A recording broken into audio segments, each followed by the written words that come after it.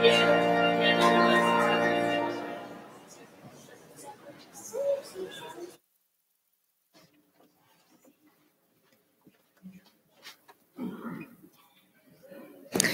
morning. Would you please stand and join me in singing We've a Story to Tell to the Nations?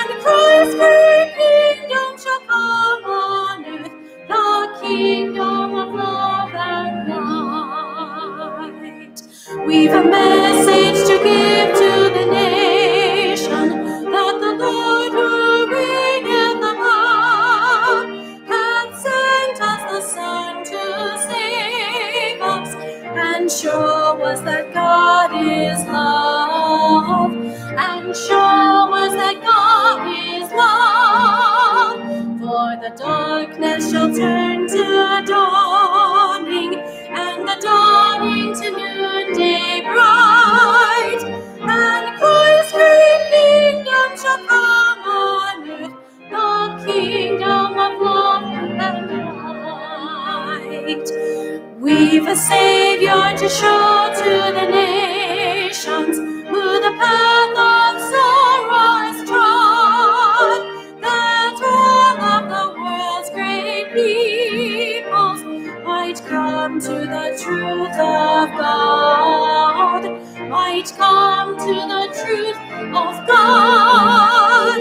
For the darkness shall turn to dawning, the You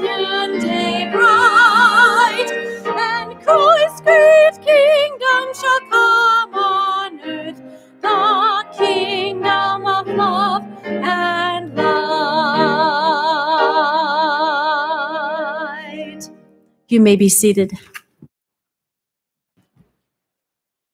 Good morning, and welcome to Hillcrest Christian Church. We are glad that you have chosen to worship with us today, those of you who are here in our sanctuary, and those of you who are with us online. For those of you who are at home, we encourage you to take a moment to secure whatever elements best represent for you the bread and the cup, as we will be sharing in Holy Communion later in our service. Will you please pray with me? As we come before you, O God, we come with eager spirits, longing to be filled by you. We ask that you enter into this time of worship in a way that cannot be mistaken. Fill us with peace and newness of life as we lead toward the resurrected Spirit so that we can be what you call us to be. In Jesus' name we pray. Amen. Amen. Good morning, church. We're glad that you're with us today and hope that you'll feel God's Spirit moving among us as we worship and praise God and fellowship together. We always like to take a moment and recognize anyone who's with us for the first time, if you're a guest or a visitor. And if you care to introduce yourself, we would love to get to know you better. Any guests this morning? Well, we're glad that all of you are here. Uh, a couple of quick announcements. Our elders will have our, their final session tonight on uh, dementia and Alzheimer's. Leslie Fuller's been doing a great job uh, doing a virtual uh, learning time for us about uh, dementia and Alzheimer's, and we will conclude that tonight. Also, this uh, Wednesday, Bruce Southard is in a handbell choir at Cedar Village, Cedar Lake Village. They're going to have a concert Wednesday at three, and he invites any of you who'd like to come and hear some handbell music to, to do so. Our men's lunch this week, we're going to kind of mix it up a little bit. Instead of meeting tomorrow on Monday, we're going to meet on Wednesday at 11:30 at Olive Garden. And a few prayer concerns to share with you, but uh, any other announcements this morning? All right. Uh, Dave, we want to continue to remember Dave Arnold's father. He's having uh, treatment for cancer. Mary Matney's niece's husband uh, will be having surgery tomorrow to rem- remove a brain tumor. And Lois Moline, who had triple bypass surgery a week ago, she's home and uh, in little pain, but but feeling stronger every day. So we want to continue to remember Lois. Any other joys or concerns this morning, Jan?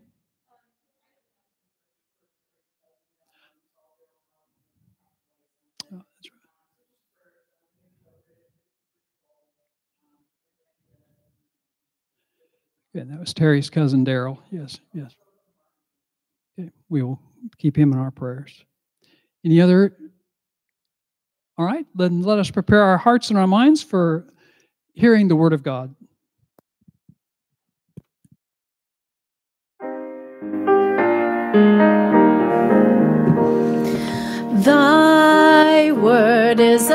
Unto my feet and a light unto my path.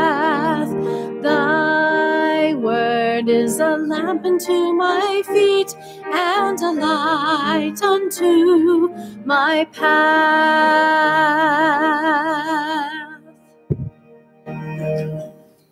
Our first scripture selection this morning is Psalm 48, verses 1 through 3 and 10 through 14. This is one of the Zion Psalms and was probably used during major festivals and was sung to express the people's faith in Jerusalem and in the God whose temples were there. Please read responsively with me. Great is the Lord and greatly to be praised in the city of our God, his holy mountain.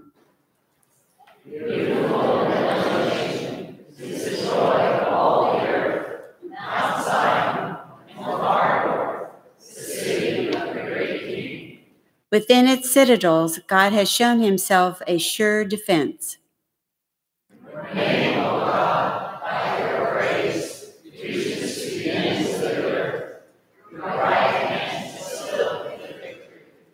Let Mount Zion be glad, let the towns of Judah rejoice because of your judgments.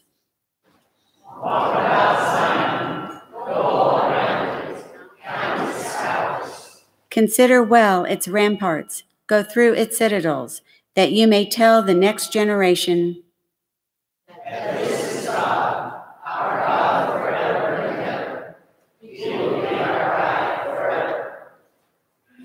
Our second scripture selection today is from the Gospel of Mark, chapter 6, verses 1 through 13. Mark tells of Jesus' return to Nazareth, of the break with his family and acquaintances, and of the sending out of the 12 disciples for ministry. He left that place and came to his hometown, and his disciples followed him. On the Sabbath, he began to teach in the synagogue, and many who heard him were astounded. They said, Where did this man get all of this? What is this wisdom that has been given to him? What deeds of power are being done by his hands?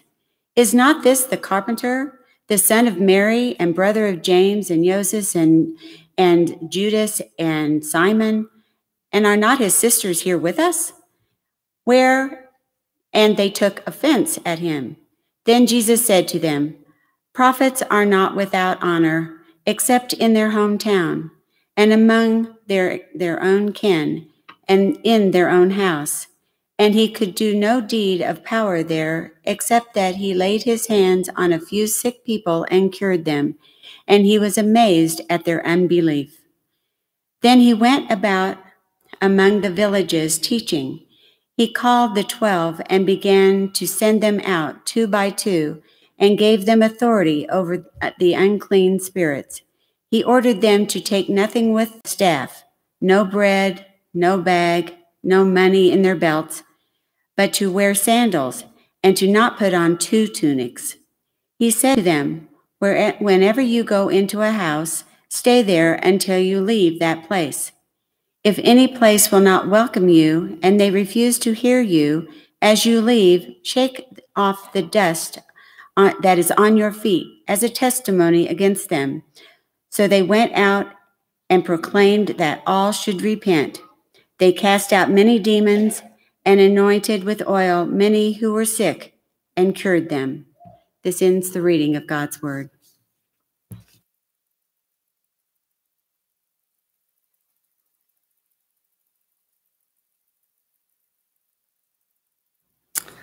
Hello and good morning. For those of you who don't know me, my name is Lauren Hayes. My mom is Debbie, who just read the scripture for you. And my mom and I have been attending Hillcrest since the mid 90s, so for a while now. And I went to the University of Missouri in Kansas City and uh, got involved with an organization there called Campus Crusade for Christ, or CRU, and started working with them full time after I graduated from UMKC in 2008. So I've been working with them now for about almost 13 years. Um, for the last eight or so years, I've been serving with Campus Crusade for Christ overseas in Central Asia. So if you haven't seen me around, that is why. Um, and so I returned last summer from overseas and um, was praying about what God might have next for me. And He very clearly has called me to continue working with college student ministry with Campus Crusade for Christ in Philadelphia. So I will be joining that team and will be moving in just a couple of weeks. Um, to be working with college students, there's about 300,000 college students living in Philadelphia and about 37 college campuses. So I will be working primarily on the campuses of Temple University and Drexel University. And the main calling that God has really put on my life back when I first uh, joined staff with Campus Crusade is from Isaiah 61:1, proclaiming liberty for the captives to join with what Jesus is doing to help women specifically who are being held captive by sin and darkness and to help them walk with Jesus in the light.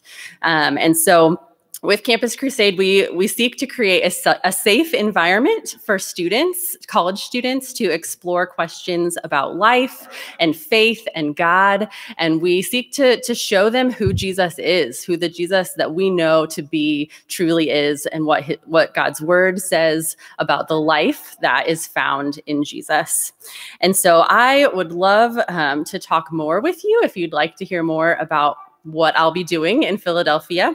Um, I'll have some cards out in the foyer after the service where you can fill out if you'd like to receive my monthly prayer emails or set up a time to connect with me.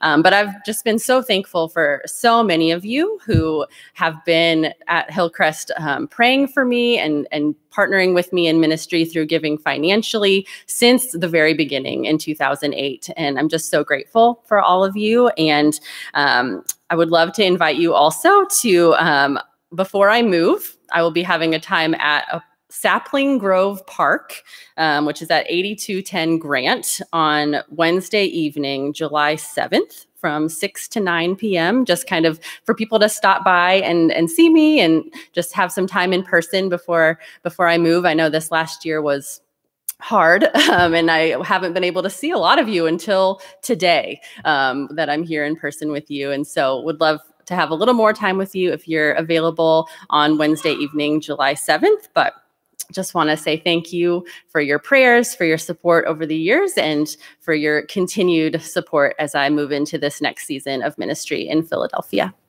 Thank you.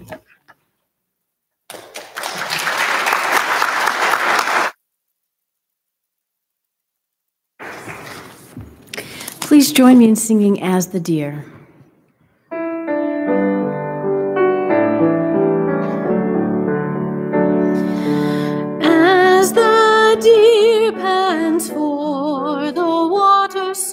My soul longs after you. You alone are my heart's desire, and I long to worship you.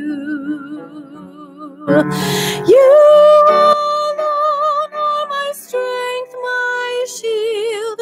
To you alone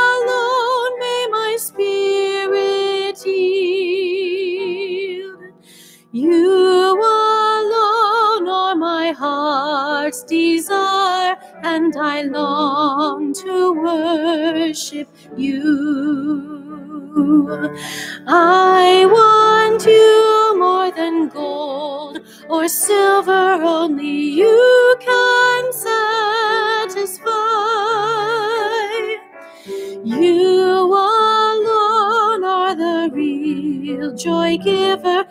the apple of my eye.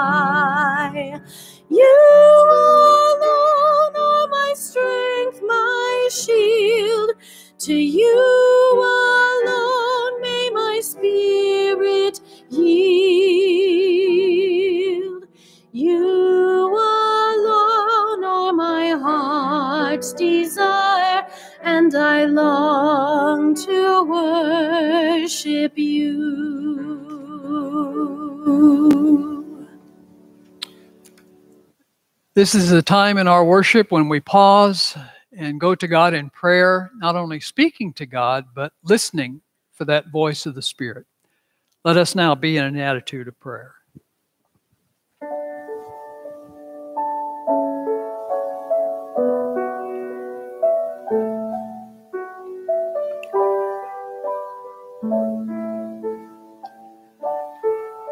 Merciful God, you've commissioned us to be healers and proclaimers of the gospel.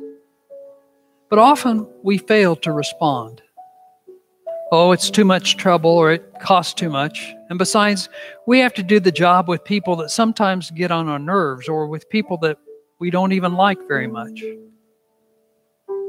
Forgive us, O oh God, for taking the precious gift of your community for granted. Forgive us for not seeing your presence among us, for neglecting the privilege of serving you. Oh God, this morning we're mindful of many whose lives are troubled and restless. People who are unhappy in marriage and feel betrayed by life. Children who are the victims of marital strife and divorce and live in a jungle of fear and confusion and self reproach. Friends who are ill and live under the shadow of pain and hurt and separation. People who have experienced the loss of dear ones and now feel that all life has lost its meaning and purpose.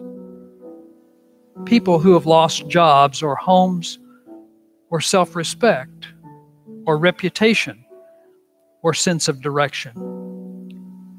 Oh God, this morning we lift prayers for all those affected by the building collapse in Sunrise, Florida. We ask that we remember those who wait for news of their loved ones, and we pray for strength and comfort for them.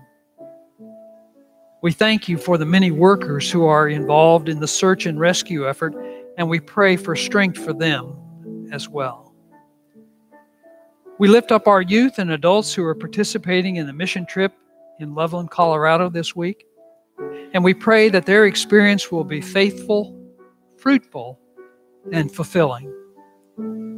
We thank you also for your servant, Lauren Hayes, and ask that you grant her strength of spirit and body in her service, and that her ministry will touch many for the sake of Christ.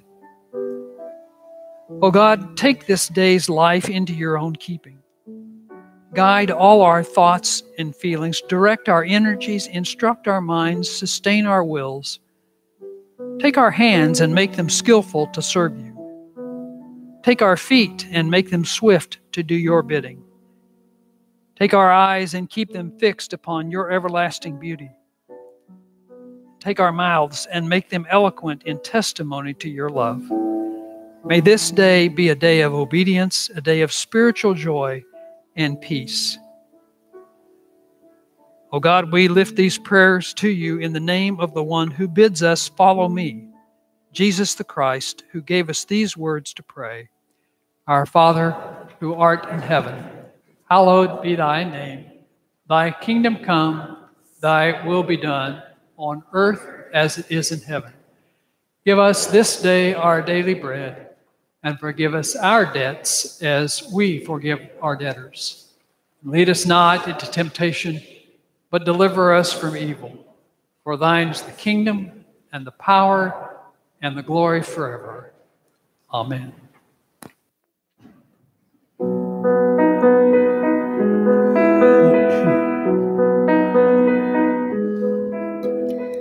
One day, a plain village woman, driven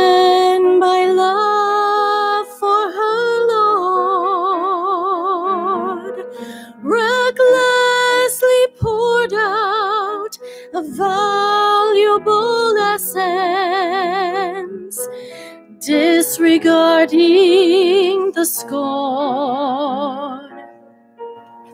And once it was broken and spilled out, a fragrance filled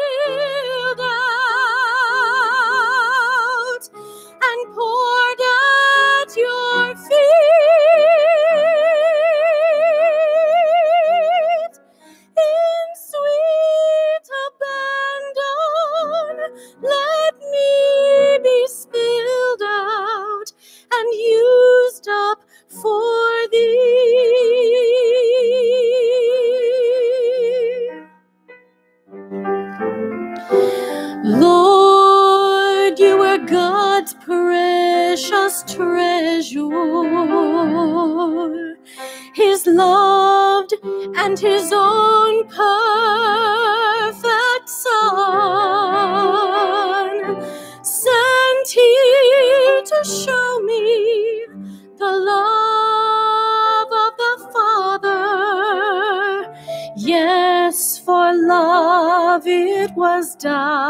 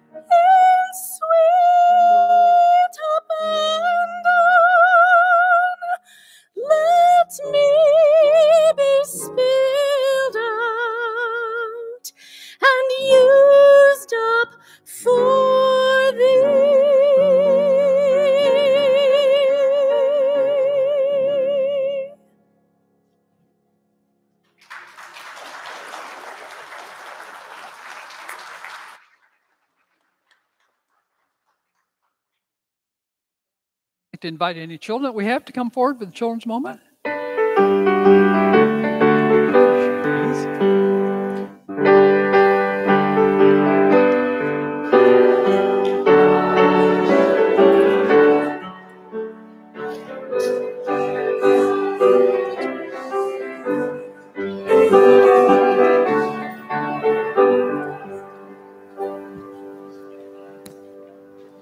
Good morning.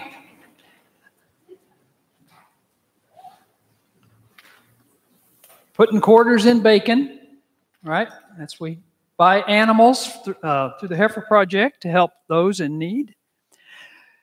What have I got here, Sydney? Suitcase. When when would you need a suitcase? When you go on a trip. Okay, what kind of things might you pack in a suitcase if you were going on a trip? Clothes. What else? Some snacks and toothbrush. That's a good idea. That's a good idea. Maybe a swimsuit if you're going to the beach or something. Yeah. Okay. You know, when Jesus was traveling around, he didn't have a suitcase. And his friends, when he told them to go out and do some things, he said, Don't take a suitcase. You know what he said to take? A walking stick and a good pair of sandals, just like you've got on. He said, You didn't need to take a lot of stuff. Why do you think he said that? Why? What, don't you think that his friends would want to take stuff with them? Yeah, they would. I wonder if they went home and said, Yeah, I've got to pack a suitcase, but Jesus said no. And I think when they went out and talked to people, I think people let them into their homes and fed them and that sort of thing so they didn't have to take snacks. Um, so I think people people helped them when they went out. Now, you know, when we go on a vacation or a trip, we do need to pack a suitcase, right? But to tell people about Jesus, do we need a suitcase? No. To tell someone we love them, do we need a suitcase? No. Maybe to do something nice for someone, do we need a suitcase? No, of course not. We can do all kinds of things and we can just leave the suitcase at home, right? We can follow Jesus with just what we have. And you've got a perfect pair of sandals to do that. Can you can you find your prayer hands and repeat after me? Dear God, help us remember that you are with us and that's all we need to love you and others. Amen. Thank you.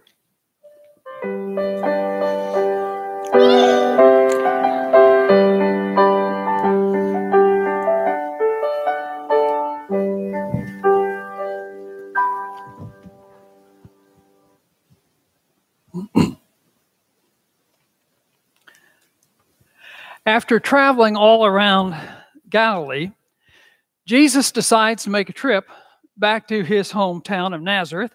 And you would think that his own people would have welcomed him with open arms and been most receptive to his message.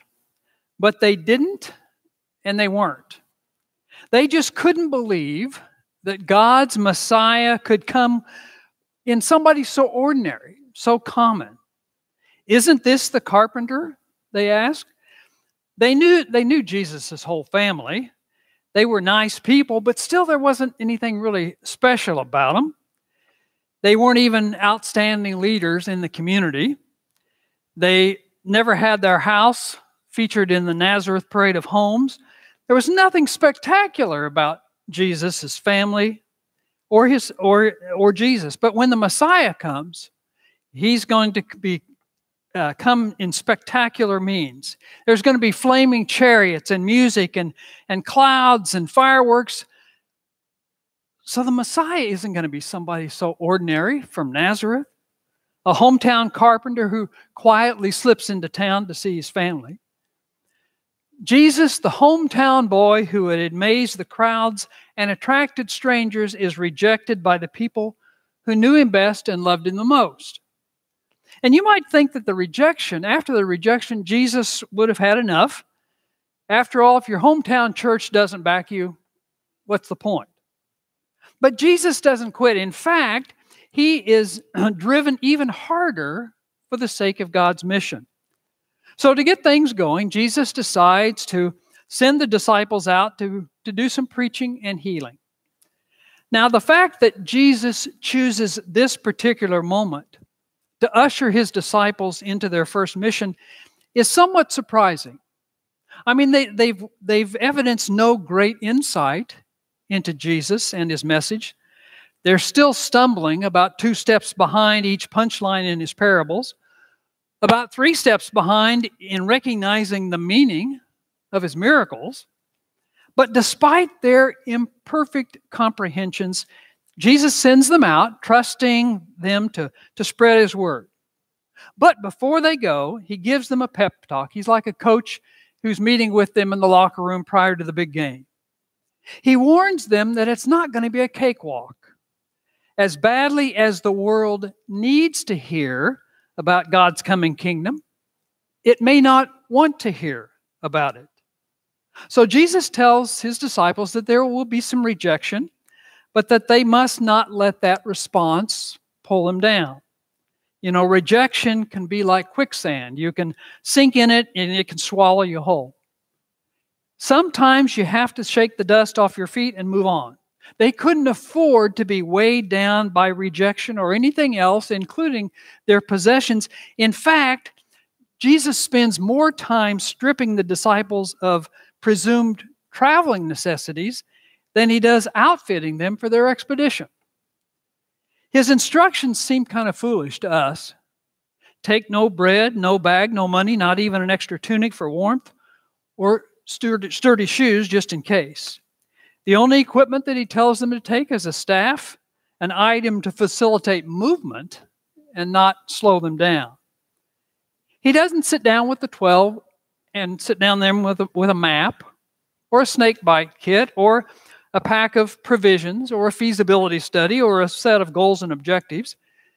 He gives the disciples only what they need most a mission and the authority to carry out that mission. Now, my question for us this morning is Is that still good advice for uh, we, for us Christians who travel our faith journeys? What does it mean to, for us to take no baggage and to have dust free sandals? Well, it suggests a couple of things to me. First, that when we are sharing the message with others, we have to leave at home our theological or emotional baggage, our prejudices, our prejudgments about the people with whom we will come in contact. We should not bother packing our set ideas about how church ought to be in the future based on what church has been in the past or even in the present. We also must resist packing judgments about ourselves that we're not qualified to tell others about our faith, that somehow we're not good enough or that we don't know enough to be a witness for the gospel. The other thing that I think that this advice about traveling light says to me is for us not to get hung up on possessions or things, because the things to which we hold so tightly are often the very things that get in the way of our relationship with God. In addition, when we're dealing with persons for whom faith or church is not part of their world, and Lauren, I suspect you'll be dealing with a lot of that in, in Philadelphia. We don't want to get, give them the, the impression that they have to have things in order to claim the gospel as their own or participate in a faith community. Now, speaking of things, can you imagine Jesus ordering 12 pairs of sandals from the local sandal maker? And I can just hear the I can hear them when they Jesus hands out the the uh, the sandals to each one. Peter says, "Master, I want the kind of sandals that light up when I walk. They're awesome." Philip confesses, "I'd rather wear flip-flops." Thomas asks, "How come mine don't have the swoosh on them?" John wonders, Jesus, did you get the ones with extra arch support? James shoves his pairs back in the box, tosses them back to Jesus, and says, Only nerds wear plain, plain sandals. I want Birkenstocks. Jesus hands them back and says, This isn't about looks or being cool or image. Wear these. Forget about what's on your feet. That's not important. What is important is our message. Wear these sandals and be ready to shake off the dust. Now, the gesture of shaking off the dust was uh, by the Jews when they went to Gentile areas and they came back home, they wanted to shake off the dust of impurity. If instead of an open door, the disciples get the doors slammed in their face, he counsels a judicious use of their time and energy. He advises his missionaries to cajole and, and convince reluctant listeners, but to shake the dust of a rejecting household off their feet as they leave. If people don't listen, well, you tried. Don't let it get to you. Put them behind you and move on. Shake the dust off and keep moving. That advice is a little tough for me to swallow. After all, most of us want to be liked. I mean, if and if we can't be liked, we at least want to be listened to. We want our message to be heard. When we draw our breath in pain to share that which is most personal and valuable to us, our faith, when we go out of our way to perform an act of Christian kindness, when we make ourselves vulnerable, when we risk by sharing ourselves, when we do all that and we are met with a cold shoulder or deaf ears or a hardened heart or harsh words, well, how do you respond? We may feel hurt or angry or betrayed, but if it's someone we really, really care about and want to reach, we may be reluctant to shake off the dust. And instead, we might look at our feet and see what we tracked in or what we just stepped into. Most of us don't like to give up on someone. After all, God's love doesn't give up on us, and so shouldn't our love be the same? Isn't that why no one likes to clean up the church rolls, weeding out those who have had no contact with the church in 20 or 30 years? Let's don't give up on the Smiths. They may be back someday. How does that jive with the advice of Jesus? And what if someone decides to leave the church? That can be difficult, even for pastors. Sometimes the reasons given by folk for leaving a congregation are weighty and theological and consequential. But sometimes that's not the case. Listen to recent responses from some, from some clergy as to why some folk left their congregations. One pastor said, We cut the pews to allow for accessibility, and one member left. Two came the next week and brought chairs and sat facing backward the whole service. My home church switched from real wax candles to refillable oil tubes. A member couldn't possibly fathom worshiping without real wax candles. Pastor preaching while pregnant. True story. A couple left our church because a noticeably pregnant woman should not be in the pulpit. People left and wouldn't talk to anyone because someone asked them not to let their kids use crayons to color on the pews. The purple banners for Lent clashed with the roses that the lady had donated for Sunday, and she wanted the banners changed. My church had blue carpet for decades, but when it needed to be replaced, it was changed to burgundy. We lost at least two families over it. One pastor said a family left during the pandemic because I mentioned George Floyd's murder and the Black Lives Movement. And finally, this from a female pastor who said, we had a family leave because I didn't wear pantyhose. Now, if me wearing pantyhose will keep you in the church, there's the door. Because I. Sometimes the reasons for leaving a church are petty and inconsequential. But sometimes people leave a congregation over theological or doctrinal differences. It's happened in our congregation, and it's never easy to accept. I think it's, it's painful for everyone. And I try not to take it personally because I know that people need to connect with faith communities that reflect to some degree their theological perspectives. And if it's not this congregation, I, I wish them well and pray that they'll find a new church home. So, as a congregation and as individuals leaving the church, we can both shake the dust off and move on. Jesus says, keep moving. Do what you can, and then don't worry about it. Let it go. Now, I know that many of you in Christian love have extended your hands to others outside the church and maybe within inside, inside the church, only to have those hands slapped or ignored? Are you able to say, Well, I, I did my best, I tried, and then move on? Or, or do you spend time agonizing and obsessing about the rejection? It's a tough assignment. Most of us don't want rejection to have the final word. I'm certain Jesus didn't want rejection to have the last word either, but his message is so important, so critical. The kingdom of God is at hand, and there simply is not time to squander by remaining where you're not being heard. Our grandma Engel used to say, Don't go places you're not invited. Jesus says, Don't stay in places where you're not welcome. The disciples are given a task but no quota or goal. They are to proclaim the message with all their being and including their outward behavior. But the responsibility for the outcome, outcome has to be left to God.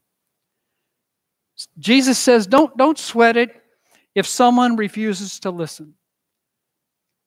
Leave them, but before you leave, before you shake the dust off, let them know how critical their rejection really is. I think to appreciate the words, shake off the dust, is to realize that some persons are not yet ready to listen to us, no matter how much, how sincere we are or how hard we try. Shake off the dust reminds me that I won't be able to be a pastor to every person that I try to be for whatever reason. I will not be able to meet the needs of the spiritual needs of every person. You will not be able to reach every person to whom you extend a Christian hand, nor will this congregation. Jesus says that's okay because you may be able to reach someone who thinks, I'm out to lunch. I may be able to speak a word, perhaps the same word that you've been trying to say, to someone who has yet to respond. That's why we need each other. And another congregation may be a place where someone can grow spiritually. You see, Jesus told, his disciples, that they could take only what they absolutely needed and not one thing more. No bread, no money, no American Express card, no cell phone, none of that stuff. Only what they absolutely needed one staff, one pair of sandals, one tunic, and one companion. Jesus sent them out in pairs. He could have sent them out alone, and maybe they could have covered twice the territory, but he didn't. He paired them up because he knew that to do the job before them, they needed each other. Sure, they, they could get along without their iPhones, an extra tunic, or even a church brochure, but they couldn't leave home without each other. They needed each other, and so do we. Lots of things in our life of faith we can do alone pray, read scripture, contemplate the creation. But we cannot work for the mission of Christ alone. We need others to help, help in spreading the good news, help in bringing healing to this broken world. Now, there's going to be times, just like the disciples I'm sure had, that we won't see eye to eye. We may, we may irritate each other, but that doesn't matter. To do God's work, we still need each other to bear each other's burdens, to keep each other encouraged and faithful, to believe for one another when faith comes hard, to hold firm to one another when the storms come. The job is still big if we take it seriously. The world remains in need of healing and in need of the promise and grace of God. You may remember that song that was popular several years ago People Need the Lord. I think that's still true, maybe now more than ever. Joyce Rupp, one of my favorite authors, as you know, reflects on Jesus' words to his disciples and writes, And Jesus, you said, take nothing for the journey. What did you mean, trust or more than trust? Did you prefer did you perhaps imply that we can't wait until we have all the possible things we need? That we can't postpone doing until we are positive of our talents? That we can't hold off our commitment until we are absolutely sure that we won't make a mistake? I think of all the excuses and reasons we can give for not serving and giving no time, no talent, no knowledge, no energy, no assured results. You say, take nothing. Don't worry about your inadequacies. I will provide for you. Go, just go. Go with my power. Risk the road, risk the work. Go, I will be with you. What else do you need?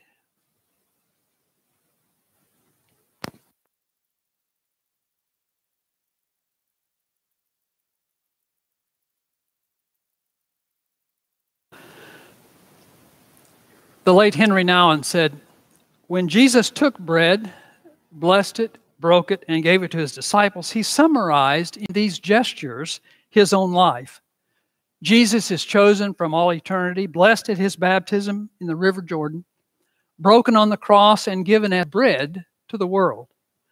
Being chosen, blessed, broken, and given is the sacred journey of the Son of God, Jesus the Christ.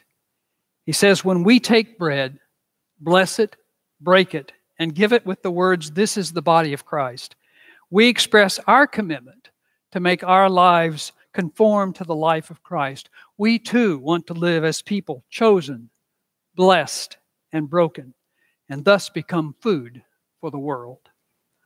All are welcome at Christ's table, regardless of church affiliation or denomination. Come and eat of the bread of life and drink from the cup of blessing. Please join me in singing our communion hymn.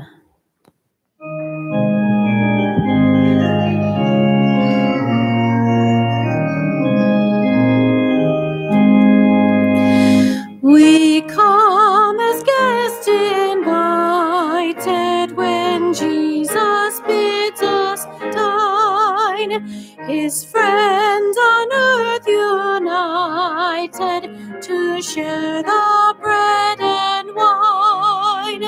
The bread of life is broken, the wine is freely poured for us in solemn token of Christ our dying Lord. We eat and drink, receiving from Christ the grace we need, and in our hearts believing on Him by faith we feed with wonder and thanksgiving for love that knows no end. We find in Jesus living our ever present friend. One bread is ours for sharing, one single fruitful vine our fellowship declaring, renewed in bread and wine, renewed, sustained, and given by token, sign, and word, the pledge and seal of heaven, the love of Christ our Lord.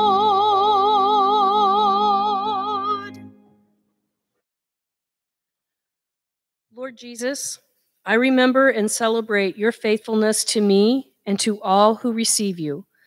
I can't begin to fathom the agonizing suffering of your crucifixion, yet you took that pain for me. Thank you, Jesus. Thank you for your extravagant love and unmerited favor. Thank you that your death gave me life, abundant life now and eternal life forever. Each time we take communion, Lord, let us recommit our lives, our hearts, our thoughts, our everything to you.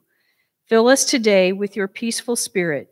As we move through the next week, help us hold this fresh remembrance and the story that never grows old close to our hearts. Help us to share its message faithfully as you give the opportunity. When Jesus was with his friends in the upper room on the last night of his life, he took some bread, he blessed it, he broke it, and he gave it to the disciples and said, Take and eat, for this bread is my body. It's broken for you, it's given for you. Take and eat and remember me. And then the same way he took the cup after supper, saying, This cup is the new agreement, the new covenant in my blood. Take and drink, all of you, in remembrance of me. The gifts of God for the family of God.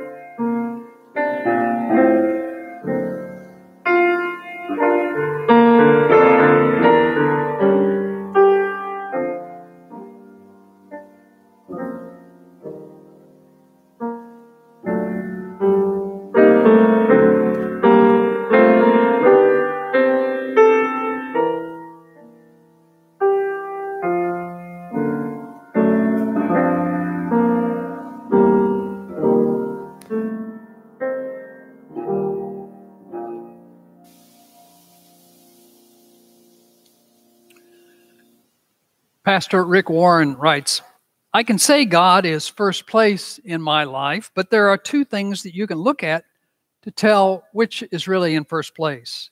If you look at my schedule and if you look at my bank account activity, that tells what is first place no matter what I say is first.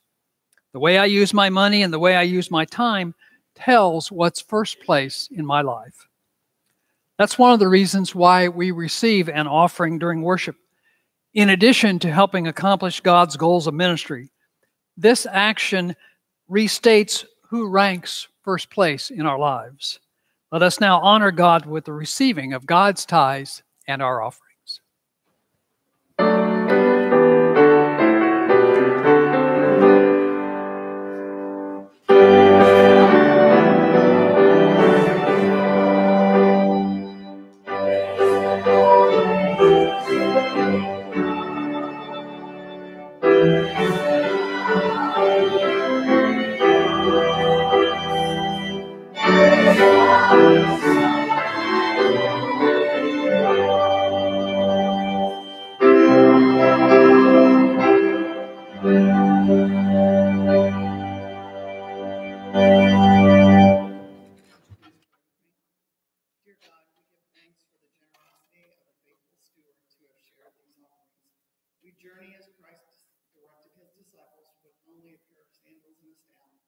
On our journey, we give to others the miracle of healing and the gift of salvation. It is both with our monetary gifts and living our lives as a witness for Jesus that we experience growth in the church. Please bless these gifts and the givers and all the people that we seek to serve. In Jesus' name, amen.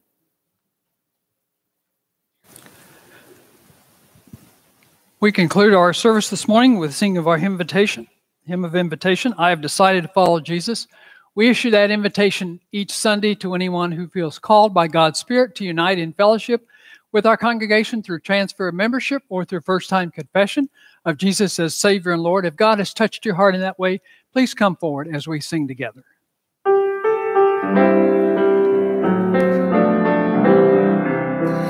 I have decided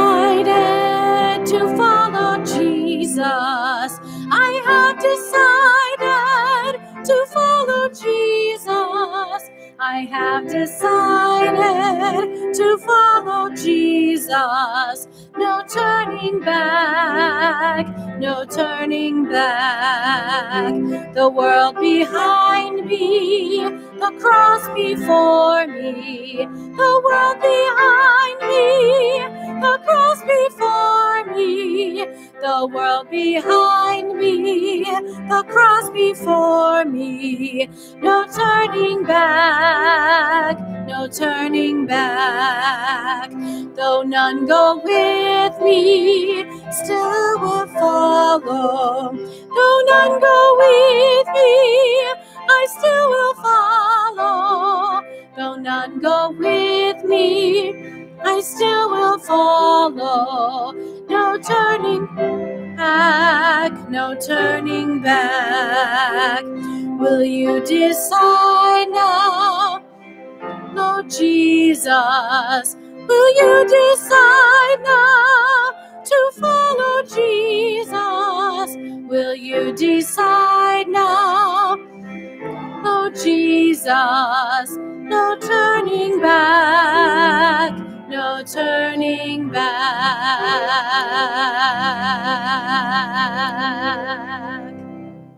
Let us go now to be healers in a broken world. Let us go to be proclaimers of the gospel. Let us go because we have everything we need. We have God's promise, we have God's power, and we have each other. Let us go now as children of God. Amen.